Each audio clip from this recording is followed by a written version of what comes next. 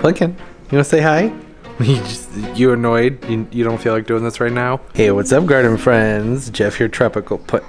Toby, let's go outdoors. Jeff here, tropical plant party. How's everybody doing? I hope you're good. I'm great, considering, you know. It's mid-April, which means it's time for a garden tour. Say hi. Say hello. I had intended on getting this done much sooner but I didn't. So here we are. I would like for the garden tours to come out like the first week or so of the month. So the next one will only be like a two, two and a half week difference between this one. But it, I, I think it's fun to go through and be able to see the differences and everything from this time of year and onward. So let's do that. There aren't a ton of drastic changes out here since the last garden tour, but there's some little things. I thought it might be fun to go through and discuss some of my plans or more like aspirations really for the garden this year. Uh, you know, everything's kind of up in the air, but yeah, you get it. Garden tour time. We can start down here with the ostrich ferns. They're unfurling and looking absolutely beautiful. Uh, things are still bermed up kind of high over here. There's a ginger under here. It's the flaming torch. I believe, yeah, Hedychium, Flaming Torch, but it's just still a little bit cool to be lifting that mulch off. I'll talk about that more in just a minute when I get down to the banana berms. You can see they're looking good. Not a lot to report there other than they're just pretty. That's going to be kind of the theme with a lot of stuff out here. Do you like my palm tree holder? It just, the wind just kept blowing these guys right over.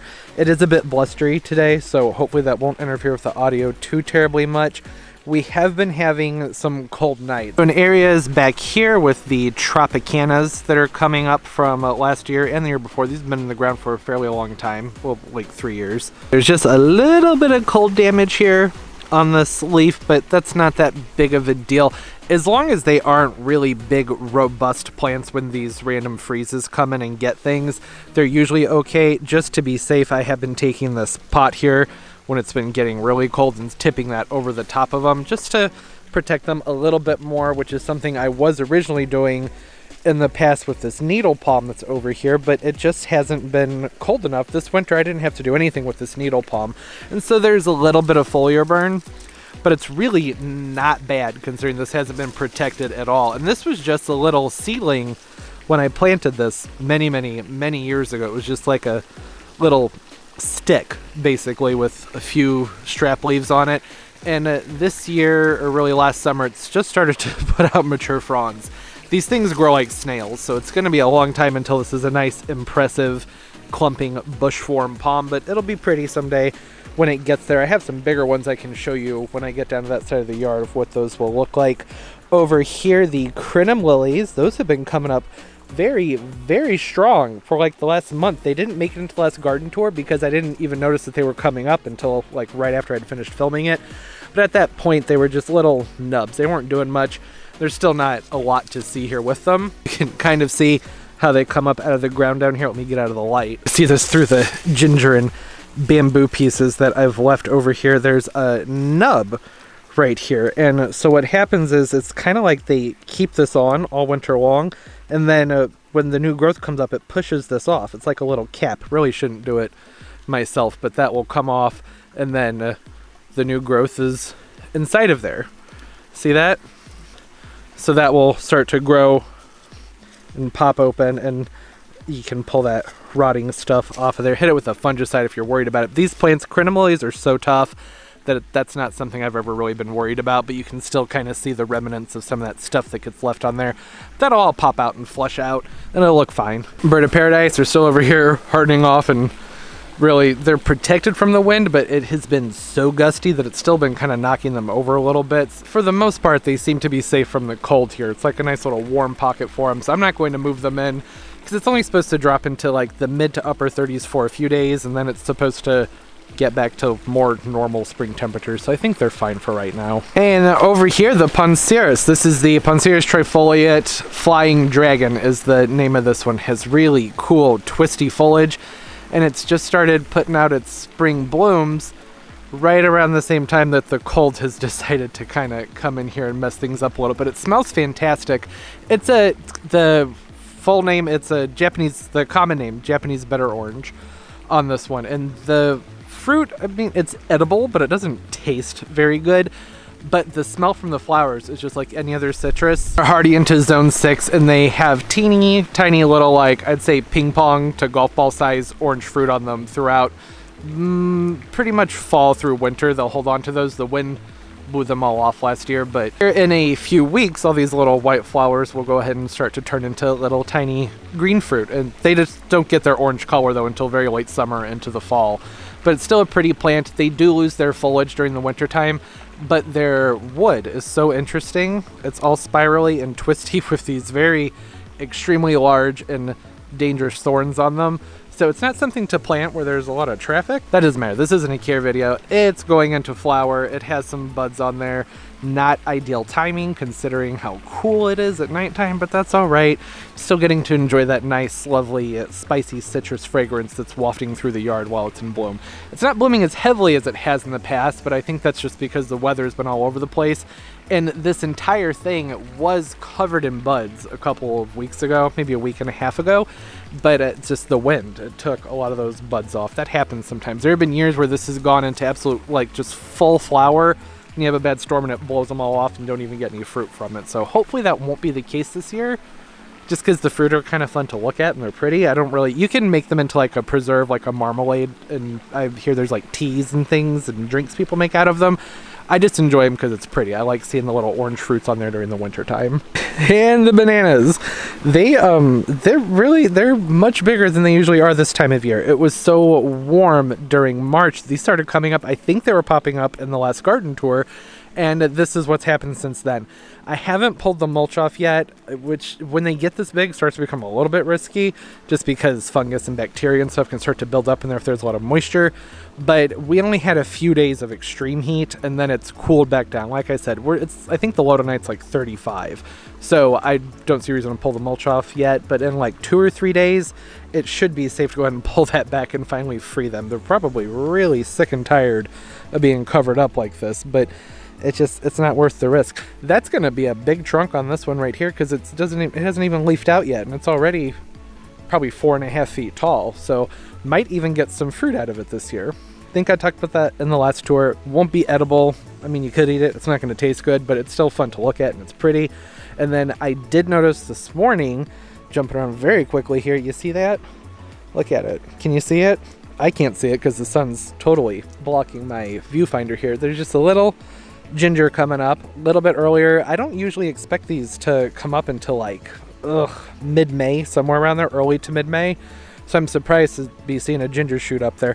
I thought maybe it was a banana and I went over and I rubbed it and sniffed my fingers. Definitely a ginger. It smells gingery. Over here we have a lovely juniper that's now just kind of become a holder for my rakes and things. That's going to get cut out. It hasn't done well here. I think it's just way too windy and blustery right here. I think the wind comes through these hills up here and just blows right through this little spot and it just burns them out. I could cover them I don't need something that's that much maintenance over here. You can see how much I care about it with all the stuff that's piled on it. Also slightly allergic to juniper, so it's not a plant that I want to be messing with very much. It makes me itch and my skin burns for a few days, so that's going to go. And this is probably the area where I plan on putting the banana cannas that I showed in one of my plant hauls not too long ago. It, that I think will just look a lot better right here up against this fence. They'll come up nice and tall. They'll have a nice kind of a reddish burgundy backdrop to the green of the bananas that are over here. The foliage will be kind of a similar shape, but that's okay. And they're perennial and being planted close to the driveway and the pathways that are over here, that'll help keep them going through winter a little bit longer because they're like tender perennials here. You have to plant them in the right spot. I'm in zone 6A, 6B, kind of right on the line. But I think that that will look nice here. I had thought about doing bamboo, on each side of the fence, but it's just, I can't find it. I haven't been able to source it from somebody who will get it to me in a really big size, and uh, I don't have the patience. I don't feel like waiting, so I'm probably not going to go that route, at least not for having something on each side of this pathway right here, because that was the plan to have bamboo on each side, but uh, I don't see myself doing that anymore. You know you're impatient when bamboo doesn't grow fast enough for you. Tucker, why do you always go right for the crotch when I get you on camera? Right here, look at this beautiful Brandywine viburnum. This is doing wonderfully. It's getting ready to flower, which I don't think is in focus. There you go. It's just buds. But doesn't this have beautiful foliage? Really nice glossy foliage, and it has more of an upright vase shape to it. So this is going to probably, it's been doing well actually in the part shade. So with its size, so only get about five five to six feet tall and wide. So I was thinking I actually may put it back here in this little corner, provide a little bit more privacy. I don't know. I don't. I have the thing about corners. I like corners to have something in them. It'd be nice to have something there with a little bit of mulch around it, maybe some little perennials. I had toyed around. I'm not doing this. This is just we're just talking about things for fun right now. But I had toyed around with the idea of doing a, a hedge of some sort all the way up and along this fence line, and then having that kind of come down from up here in this corner and then swoop around the base of that oak that's up here and reconnect back down here onto this berm. And doing that with like alternating tall plants, um, you know, a garden bed basically, but a very narrow one. I don't see that happening, uh, you know, because the availability of plants, things are very different this year. And that's a really big project. And the ground over here is cement. It is rock hard and uh, this is drainage right here, which has been filled with mud from all the rain and storms. All these houses up on this hill come drain down here and then go into here. There's a little storm sewer here that carries everything underground, under the pool and everything, to an actual storm sewer that's on the other side of the yard. So things would have to be done very methodically. Uh, but there is still this big hole up here where there was a white pine that got blown over during a storm last spring. So uh, that was just kind of my thinking with the viburnum, like I was just talking about, would be to replant something up there that's not going to get as big because that's not practical with this big oak tree here, which I'm seeing needs a heavy pruning. It has gall wasps. That's that's a whole whole nother thing. That would be a whole different video to talk about. But getting something up there that's evergreen, and then having a few other points of evergreens along the fence in this corner leading up with some smaller shrubs in the front, maybe some heucheras, something like that. I think that that would be a lot of fun and look really cool, especially with having things kind of swoop down around this oak and over. But again, it's not really practical this year because there's just, you know, the you know what's going on. The whole idea there is that eventually all of these petasites, the Petasites japonicus variegatus, that's what these are right here, these would be flowing all the way up this hill and then up into there and it would look just so pretty. These are heavy spreaders. You can even see over here, I'm trying not to trip over a pot that's in front of me. You can see where they've already started to kind of move up the hill. And I planted these, I only planted I think six of these, two different varieties, maybe three different varieties all over here. So there were like the Gigantea, Gigantus, Actually, I think they changed its name to like Curly Q or something, but that's what it used to be called. Then the Variegatus all the way throughout here. And look at what they've done. This is a drastic change since the last garden tour.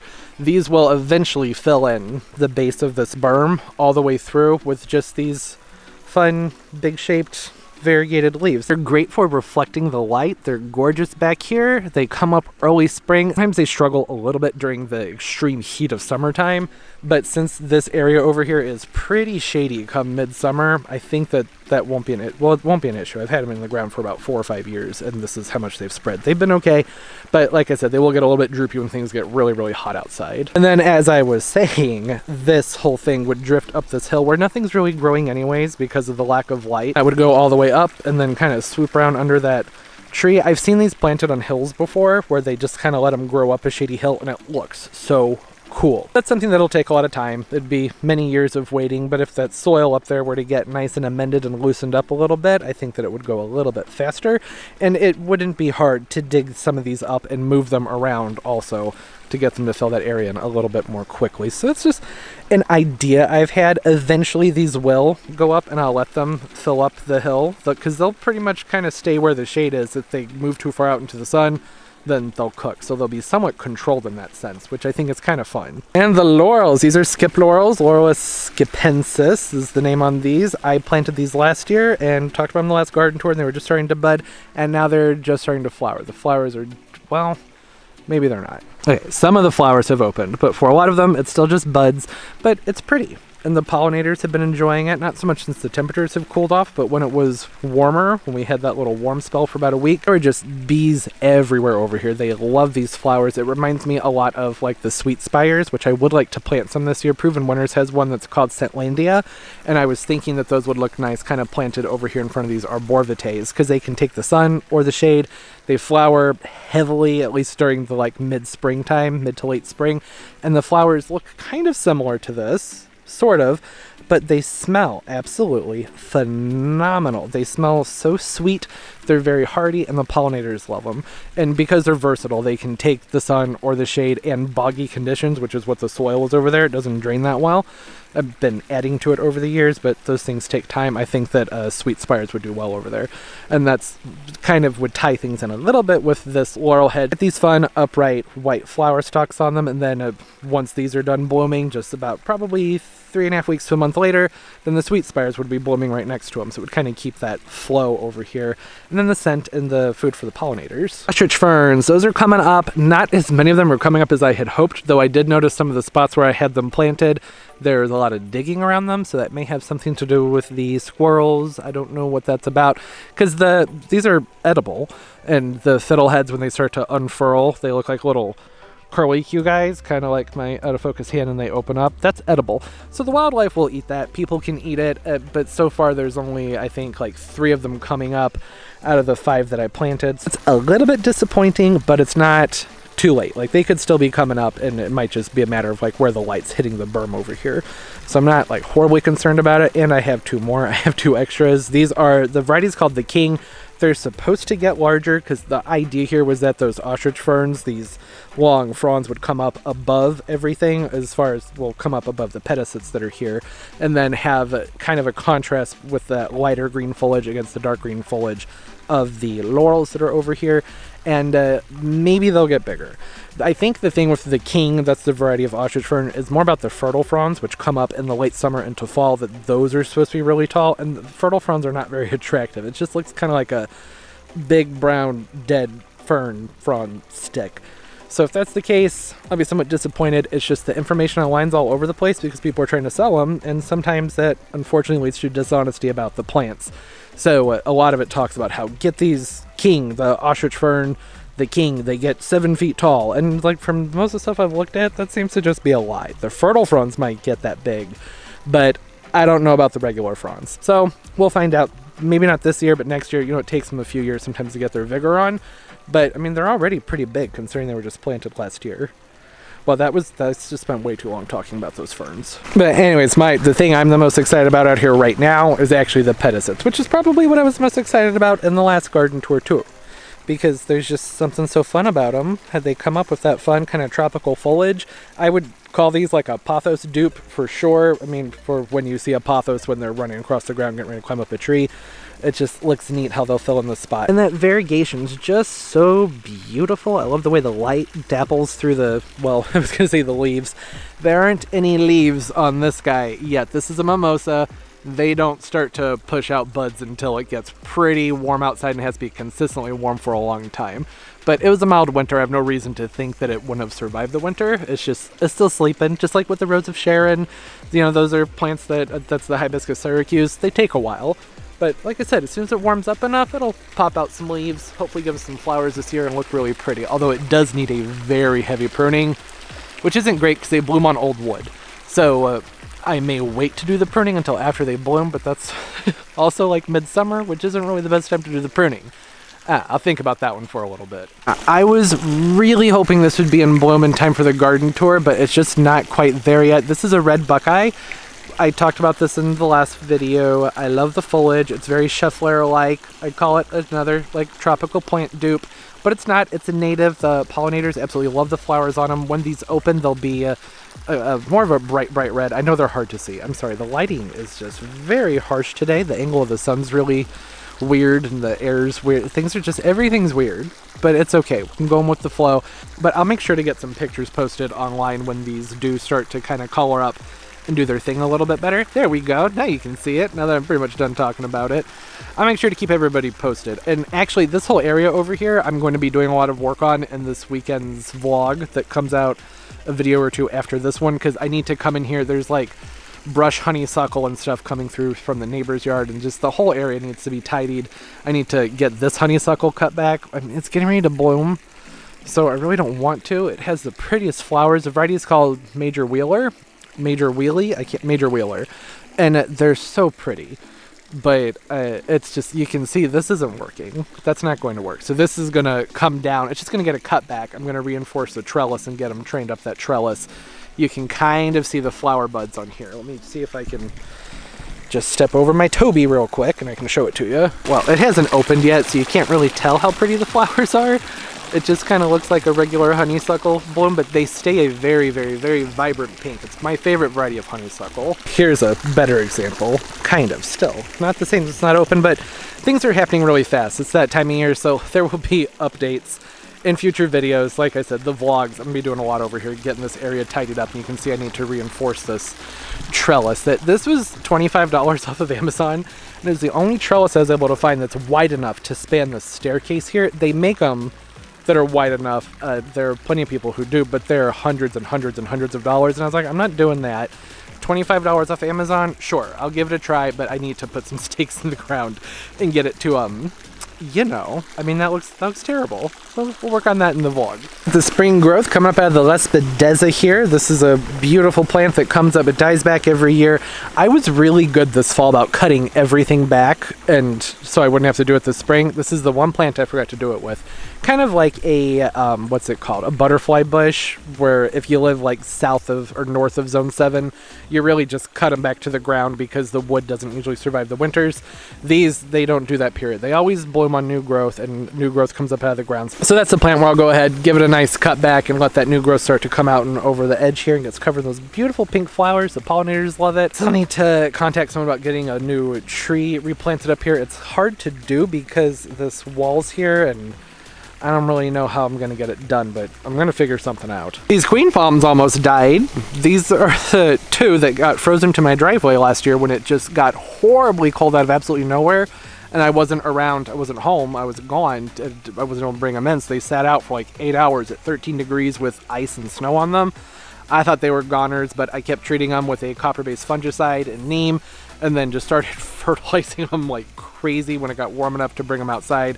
And uh, new growth. I mean, they don't look great, but they're alive. That's the main thing is you just want to see new growth. You want to see the spears push out and then keep treating them with the fungicide as long as temperatures are fluctuating a lot between warm and cool. And uh, they're going to be okay. It's going to take them a few months to bounce back and look pretty again, but hey, they're alive and I'm not complaining about that. And 13 degrees, that's fantastic. I mean, it was only for a few hours, but still. I mean, I'm surprised that they survived, period. And the magnolia planter's looking good. This was in a video a few weeks ago. I put a Heuchera silver, or Heuchera cinnamon dolce silver gumdrop over here, silver gumdrop, you know what I'm talking about. And then one of the uh, peach berry orange ices back here, I think is what its variety was. And they were just teeny tiny little things and they've really popped up. They're doing their thing. The primulas are enjoying the cooler weather, and so are the alyssum. They're doing really well. When we had that heat spell that came out of nowhere, it actually kind of shocked them, which I was a little bit concerned about, but they have rebounded just fine from that. It went from being like in the 50s and 60s and lower 70s every day to uh, 89 and 91 for a few days, and it was just, it was a bit much. It was rather drastic, but they are fairly heat tolerant as long as their sun's not too strong. They smell so good, which isn't really a surprise, right? I mean, Alyssum lobularis smells really fantastic. I wasn't totally certain about the purple in here just because anytime I've tried to grow the purple varieties of Alyssum, they never do as well for me as the white ones, but this is doing really well and it's not fully purple. You can see there's still plenty of white in here on a lot of the flowers, but that's okay. I still, I like the combination and the contrast between everything. I think it's really cute. The Magnolia, this is the Bracken's Brown Beauty and I talked about when I did the video with this planter about, you know, it has some winter damage, which happens, especially when it's potted. I didn't give it a prune because it had, still kind of has, lots of buds along this stem here, along this trunk. Can you see it? Kind of. Well, since repotting it, which I thought this might happen, it has kind of backed off on pushing out the new growth. So I'm still going to give it a few weeks and see if it will push it out. If not, I'm going to go ahead and top this off and get it to flush back out from below. I might actually do that anyways, just to get it to fill back out and look a little bit nicer. But this happens, especially when you're growing a little bit out of the zone. These are hardy to zone 6, but it's potted. So you lose a couple zones of hardiness there. Things are more exposed. So having some leaf burn like this, not that shocking happens on any magnolia evergreen I've ever grown out here. They'll drop them and new ones come out, they'll flush back out. It's okay. But it's just the new buds that I was watching in there. Those don't really seem to be doing anything. That's all right though. Anyone remember this planter? I did this last fall. I potted this up with some uh, Brilliance Autumn Ferns around the edges, some ivy, which didn't, didn't really do great this winter, but I'm not shocked about that. And then I think the name of this was, it was like some kind of false Chinese hydrangea vine, one I hadn't grown before. And uh, the thing that appealed to me with this was that it was beautiful. It's not the same as a regular hydrangea vine, it's like a different naming and plant. If I can remember, I'll look it up in the other video, I'll put it up here on the screen or down below in the description. But the selling point for me with this was that it was supposed to be evergreen. Now, I questioned that. I wasn't certain about it. I was like, that seems like it might be a lie. Like, you're trying to get people to buy this and not differentiating the zones and how things can vary. And uh, no, zone six in a very, we had an extremely mild winter, despite that 13 degrees that I was talking about with the queen palms, but that was actually in the fall. Wasn't in the winter. Fall was actually worse here than winter was, but still, uh, no. Certainly not evergreen, not one bit. I mean, it's in a pot, so you lose some of its hardiness there, right? That's normal, but uh, still the no foliage survived in this at all, but it did start to flush back out from down below. There's still a little bit of flexibility and give to some of the growth down lower, but the stuff up top, nah, I mean, it's just dead. So that needs a cut back. The plant's not dead, but it was like, this isn't anywhere near as hardy as the tag described. That happens sometimes. It's why we grow things and experiment with them. The autumn ferns, they are going through their little winter to spring transition. This happens with them, at least for me, every year when I grow them in a pot. They tend to remain mostly evergreen during the winter time, and then as conditions change, sometimes their winter foliage will start to kind of burn off. I think it's just a change and like a little bit of a shock from the climate change. It's no longer winter, the angle of the sun's changing, the precipitation changing, humidity, all that stuff and uh, so I just go through and I'll clean most of that out. I'm trying to keep it watered. It is pretty moist in there, so it doesn't need a watering. I did move it into a bit more of a heavy shade. This did get a decent amount of sun during the winter time because it was under a tree that defoliates, but that's okay. I had it kind of near a wall where it was shaded in the afternoon. But with that heat I talked about that showed up last week where it was really, really toasty after being pretty reasonably cool and uh, more mild outside, it didn't really appreciate that kind of change. It's a bit shocking to it, but it's it'll be okay. It's not that big of a deal. These rebound fairly quickly. Autumn brilliance ferns are really tough ferns, semi-evergreen in zone 6, and they have gorgeous glossy foliage.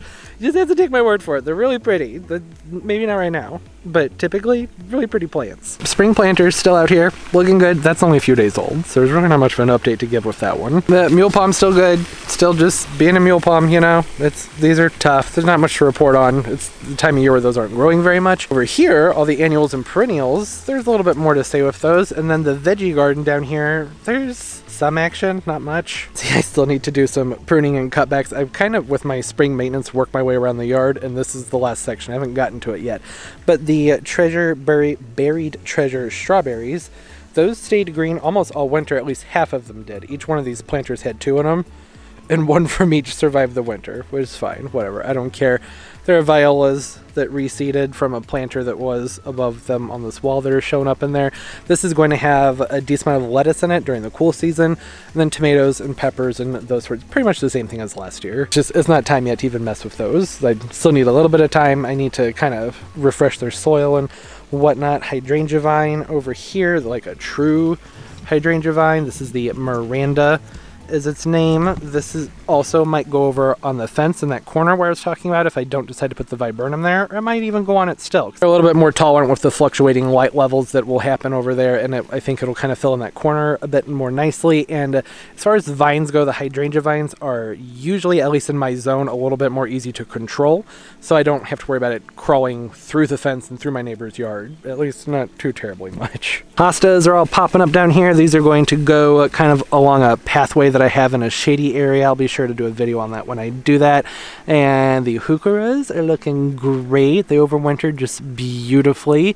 The hostas pretty much always do. They're really tough. I just throw some frost cloth over all my perennials that are still in pots during the winter time. Make sure to get them splashed with some water at least once a month and they usually pull through no problem. Annuals over here just being annuals. I'm going to get this lettuce planted up here pretty soon. It's time. They're done being in those six packs. I need to get those potted up. The bacopas and everything else over here is just kind of chilling and waiting to get planted, which I'm really excited about. In a few days, it'll be warm enough to get moving with that. I was thinking about actually taking these heucheras and potting them up under my windmill palms. That's not windmill palm. Here's a windmill palm. They have nice color to them. I have two of them that are in these brown, kind of chocolatey brown planters. The other one's back here. It's kind of hidden by everything, but that would be, I think, a nice perennial with some good color to it and a nice texture. You know, they have those nice big bold the leaves on them. I think that that would look really pretty in those, but I don't really have the quantity to make any pattern look quite right. Like there's one of those Primo Peachberry orange ices right here. Is that even what it's called? I'm pretty sure it is. Yeah, peachberry ice. That's what the tag says. And then there's one that's called like cherry something or other, and then the uh, cinnamon dolce gumdrop over here on the side. So I don't even have the right quantities for that. Oh, and there's one that's called like guacamole back here. So I would need to do a little bit more planning with that to get the pattern laid out right since I basically just have one of each. It just wouldn't really look right unless I had the same ones to go in each one. But that was just a thought. Otherwise, they'll be going into the garden beds, which is fine. I want to get more perennials in the garden beds anyways. Could divide them up. Some of them are big enough and have enough growth on them. You know, I divided one up when I did that magnolia planter, so I could do that again. It would be just fine. It's just one of those things where I'm just kind of sitting around thinking about it because getting new plants is going to be probably more of a challenge this year. So I think it would be best to work with what I have here, divide things up and go from that direction before trying to get more, right? Because I don't, who knows if I'll be able to. I'm trying to not go out. The nurseries aren't even open. One of them is, maybe two of them are, but um, I'm still avoiding going out in public just to be safe for right now. We don't know what's going to happen next month or the month after that. That's why I said it's more of my garden aspirations as opposed to plans, because, you know, can't really make plans right now. We're not really in that kind of a place. But I am very much enjoying this fun little sea of color over here. I have these guys all put together in organized so it's just a little bit easier to water. I do have some more perennials over in another spot that are perennials that don't want a lot of water. So that's just to save them from myself and my heavy-handed watering so that I don't drown them out. Uh, but there's really nothing to see. It's mostly just sticks that have like tiny buds on them. It's the, um, well, I can go show you. Yeah, see? Not much to look at. These are just Asclepias tuberosa, the uh, orange butterfly weeds. They also come in yellow. It's a perennial. It's a native, but they don't like to get tons and tons of water. So I thought I would kind of leave them over here in this corner where I won't be tempted to water them too much while I'm waiting for them to go ahead and pop open. I was going to talk about these in last weekend's vlog, but I decided not to because they hadn't shown any growth yet. And I was worried that they had died, but they're coming up, except for there's one back there that's not, but the rest of them are showing growth. I didn't end up planting these last year because I have noticed with the tuberosa, with this particular Asclepias, that they have very delicate roots and I didn't want to put it in the ground during the heat of summer. And then the fall, it just still didn't feel right because we had a really wacky fall with temperatures. So I was like, you know what? I'm going to roll the dice. I think that the odds of them surviving will be a little bit better if I wait to plant them until we get to about mid spring when temperatures are a little bit warmer and they've rooted out and they're not going to go through any shocking temperatures and stuff like that. So that's their story. There's a beautiful stone crop here in front of everything. What's your name? Tricolor sedum over here in front of everything. It's starting to flush out, losing a little bit of variegation, but they do that. You can cut that off. Not that big of a deal. I have a little boot planter. I'm going to try and put those in. I'll probably, if I can remember, I'll get that done in this weekend's vlog. Over here, there's a fall planter that I left out because it had, I did this one with a combination of perennials and annuals. So this variegated helianthus, it's a little sunflower. That's coming back and looking beautiful. I love the foliage on this. Isn't that gorgeous foliage? It's really pretty. And then, um, I don't remember what that is but it's coming back, which is great. When these get a little bit bigger, I'm going to pull these from this and probably put them into the cutting garden or the pollinator garden. Uh, I saved most of my tags here. I try and kind of tuck them down into the planter so I can remember to reference them for videos and just to remember what they even are. But uh, the, the perennials don't have their tags on them, so I don't really remember what this even is over here, but I remember this. This was that variegated helianthus. So in a few weeks, this will get a little bit bigger. Its roots will be a little bit stronger, and I can pull this out and then get this pumpkin off my patio because it's really it doesn't make sense to have that out here anymore. And the same thing with this planter over here. This was another planter that was in a fall video where there's some ivy coming over the front.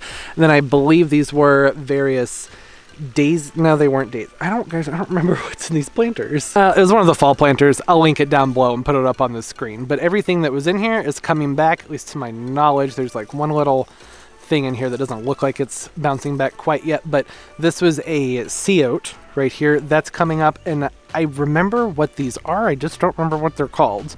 You know what i mean? Like i can see them in my head I've grown them before. They're lovely plants, but I just don't remember the name. I think it's nice. It's nice to have some perennial planters around. Now, I will put these someplace during the summertime where it's not like something you can see.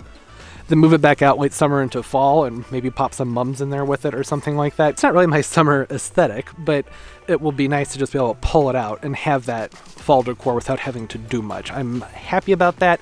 I may go through here. I need to do a little bit of cleaning in here and pull some of this old stuff out and probably drop some fresh soil in there. Some kind of soil amendment, something to freshen it up, but so far it's doing okay just left untouched, which was the point of this planter, was that everything I put in here were drought tolerant, really tough plants. I mean, even the ivy is a plant where if you have it in the right location, just leave it alone, it's going to be fine. And uh, so far, it's holding up to that. It's doing really well. Yep, look what I found here. I always hold on to these just to be safe. I don't know where the one for the Helianthus went, but this is the uh, Mariachi Bandera Helenium. That is one of these guys that's in the back here. So how does it matter when you can't even see the flowers? Does anybody care? And then there should be a little lemon goldenrod in this too. One of those that actually it might be in the other planter. We talked about the sea oats, and then that plant that I just was playing with in the front that looks like it didn't come through. I'm thinking it's probably the Lil Bang at Red Elf Coreopsis, which is unfortunate because I was excited about that. I thought it was a really cute plant, but it maybe just hasn't come up yet. You know, it's still a little bit early. Kind of. I don't know. We'll see. Oh, and there's one little flower on the oleander back here. You can come over here for a better shot. It's got some buds on it, and uh, this is my favorite oleander. Not one I would expect to be blooming this time of year.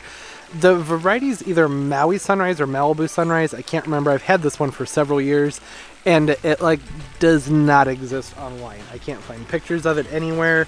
I was able to at one point when I that's when I remembered it was either Maui Sunrise or Malibu Sunrise, but uh, I'm thinking that that might be because it has a really horrible growth shape to it, but the flowers are stunning. I think it's the prettiest oleander I've ever seen, even though the growth habit's pretty wonky. And this is a flower that's opened up and had to deal with bad temperatures and weird fluctuations, and it's still absolutely beautiful. Tiny little toxic plumerias. Just love them. It has more buds on it. I'm actually not even sure why I have this over here. This should be in more sun. Why did I put this here? I have no idea. I have my lemon coral sedums that are left over from last year over here. They're starting to bounce up and I was thinking like, okay, these are going to want the same watering basically, but this is very shady. I'll probably move this over into the sun here fairly soon. But as far as everything else goes out here, I'm just kind of in the like sitting back and planning, you know, more kind of daydreaming about what to do in the garden this year. This whole area might be different this year. I haven't decided yet. I have these two big blue pots, beautiful pots. I love these pots. I don't ever put anything in these that need to be moved inside because they are incredibly heavy. Those are, uh, they're roughly 30 inches across the top on those. Very heavy pots. So I usually just pop my tropicals inside of them in their containers and then lift them back out. But last year, the uh, plants that I had over here, the sunlight, it's just not as good as it used to be. These pine trees, they're starting to overhang the patio. And what happened was all of those plants started to kind of lean forward and it just didn't look nice. I really wasn't into how it looked. And uh, the main reason I even have them here is for privacy. I used to actually have these trellises back here in these pots. I had one in each pot. This normally, there's an Adonidia palm that goes here during the summertime. And I would put mandavillas in the back. Mandavillas, mandavillas, whatever you want to call them. And it was beautiful, but there's not enough sun over here anymore for those. There are more shade-loving vines, but I don't know if that's something that I would even really want to mess with when, if the, I would want bountiful flowers. So uh, an idea I have been toying with, I'm not sold on it yet, but I'm thinking, since I have these two big blue pots here, and I have two big hydrangea trees that I just showed a little while ago over there where that arbor, the trellis was all wonky, and then uh, the honeysuckle, that area. Those both need to be repotted very badly. And this would be a good upgrade. I could keep them in these pots for several years, really. And that just makes more sense than trying to find new pots to pot those up into. Now, in a dream world, what I have always wanted to do over there was to take a couple of these pots. This is my favorite pot that I have ever had. It's just a big, beautiful, gorgeous aqua pineapple, but this isn't big enough. There's a size up from this pot that is roughly the same size as these big pool pots. These are, I think they're 32 inches high by 24 wide, I think. Very big pots. Problem though, is that when these pots go up to that size, the nurseries usually only get two of them in, if they'll even get them in this year, and they're like 450 bucks a piece. I don't see myself doing that. I can't spend nearly a thousand dollars on a couple of pots, even if they're absolutely gorgeous, and these would be perfect. Imagine these bigger than this, framing a walkway with those hydrangea trees. Oh, so pretty. But no, I don't I don't see that happening. If it does happen, someone go ahead and reach through the screen and just slap me and call me stupid because that's too much money to be spending on pottery. But I mean, I could find a deal. I don't know. But I, what I'm saying is, I think it would make more sense to use these big blue pots down over there for those hibiscus, no, hydrangea trees. But that would leave this area bare, except for the palm tree. I'll do, you know, I can rearrange the area, make it look nice. And if I do that, then instead of having plants over here, which might be a nice change, it might be nice to have this area more clean and tidy on the patio as far as that goes. And then I could plant up this area on the hill, which is something I've thought about doing for a long time. It's very shady over here. I have like some old broken pottery that I don't want to part with, so I just threw it up here. I'll do something else with that. And, uh, you know, I could put shrubbery in the back, evergreen shrubbery, and bring things forward and have lots of flowers and mostly things that are white, I would think, because that's going to light up the most at nighttime, and this is an area where people sit outside at night. I could do like a row of caladiums kind of close to the front with some impatiens in front of that, and then something that will come and trail over this wall. I'll put that socket box, and obviously I would completely, totally clean this area up first. So the view would be more like a little planted shade garden up here with all my orchids and things hanging above everything. I don't know, just a thought. But again, it, that would all depend on availability of plants, being able to get them. Who knows what's going to happen this year? May not be able to go to the nurseries and get stuff. I have no idea. I have some plant orders that I'm waiting on, but that's pretty much it. I'm not putting in new orders. I don't want to deal with having to clean everything that comes in the mail right now. But it would be fun to incorporate more perennials. That was something that I was asked about, and I meant to cover in my Q&A I did about a month ago, and I just slipped my mind, but it was when I was talking about the laurel hedge. Let's go back down there. When I planted up this entire laurel hedge over here, that was supposed to be like a kicking off point to start getting more evergreens into the garden. I really like evergreen interest. It just makes things so much more bearable during the winter time. Uh, but you know, you have to step through those things slowly because these it's expensive. P perennials are very expensive. Tropicals are too, but perennials much more, as they should be, rightfully so. They take longer to grow and you get more out of them. The whole point though being that I have all this garden area over here and I think that it would be nice to work more evergreen shrubs into everything. So that hedge was supposed to be kind of like the jumping off point for that last year. And then I had plans for what I wanted to do over against the house and those garden beds for this year, but again, who knows what's going to happen. Kind of a waiting game. We will see. I have several needle palms that I'm going to work into the landscape around here and some sabal minors which will be somewhat evergreen. I'll probably have to cover those up if things get too bad, but this whole area used to be full of perennials and evergreens, and I would tuck impatiens into them every year, and uh, my tropicals that are in the garage, I work those into the landscaping too. But as the sun changed, the sun didn't change, that doesn't happen. It's not within our lifetimes, but what I mean is that as the trees grew, the sun went away, and then over the years, all of those perennials slowly started to die off because they weren't getting the light that they needed anymore. And it's time to start fixing that and replanting it. Hello, oh, palm tree. How are you? But see, the problem is I'm still such a sucker for the tropicals. Anyways, yes, the point was that was a question about working more evergreens into the garden, and that is something I'm working on. Who knows how far that's going to go this year? I don't know. We'll just have to wait and see. And here's some of those needle palms. These were actually in videos last year. Some of them didn't hold up that great this winter. Some of them dead. So, you know, a little bit of differences there. They're not dead though. I've been treating them like that one back there. It looks really bad, but it's still, the spear that's in the middle is still nice and sturdy, so it's going to be okay.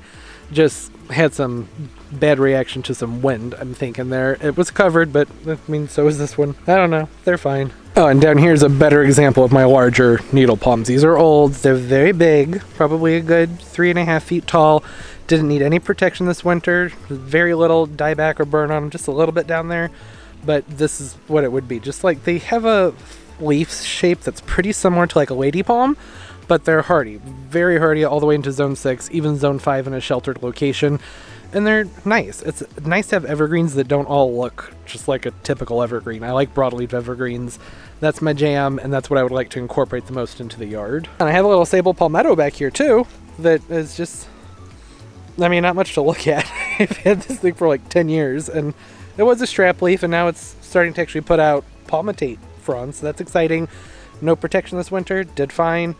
but again, a very mild winter. I like a lot of variation with my evergreen. Things like different types of yucca, yucca, depending on if you're talking culinary or gardening or where you're from. I usually say yucca, but I say yucca when I'm talking about cooking. Doesn't it doesn't matter, it's all the same. Evergreen, different type of interest to them.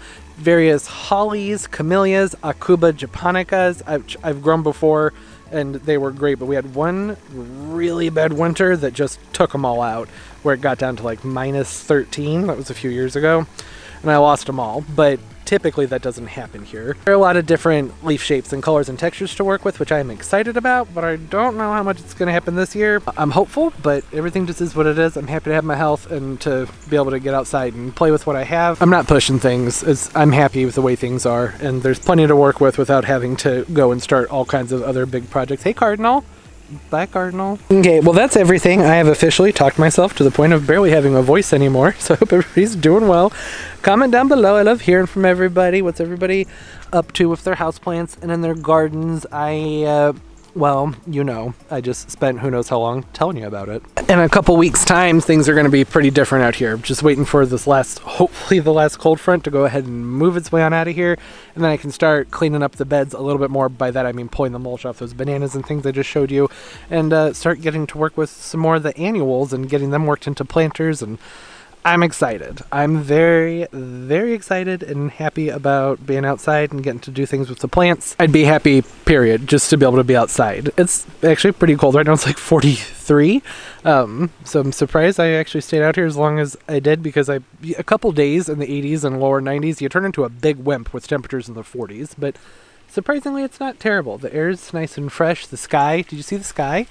Look at it. It's a sky got the clouds and it's looking pretty. I love clouds. They make me so happy. Yeah, like I said, comment down below. I hope everybody's doing well. You know, the whole YouTube thing, it's all down there. I appreciate it. it helps the channel a lot, so thank you for that. And uh, of course, as always, and most importantly, everybody, keep on growing. Bye bye.